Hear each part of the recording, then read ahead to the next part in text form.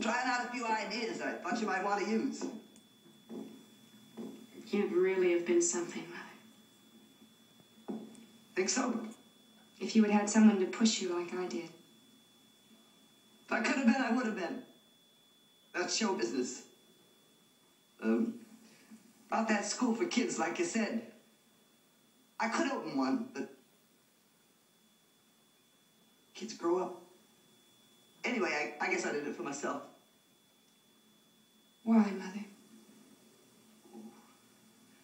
Just wanted to be noticed. Like I wanted you to notice me. I still do, Mama.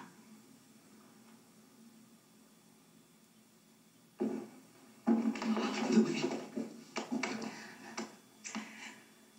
Okay, Mama.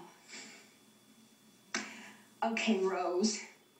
Say, you look like you should speak French. You're coming to that party with me. Oh, come on. Like this? Here, you can wear my make. I've got a stolen in the car. Well, only for an hour or two.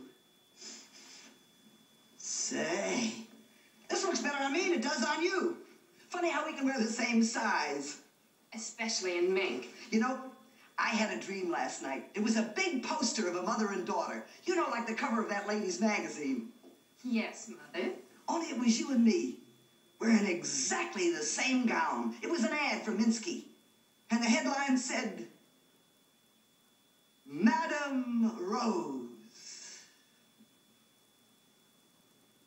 And her daughter, Gypsy.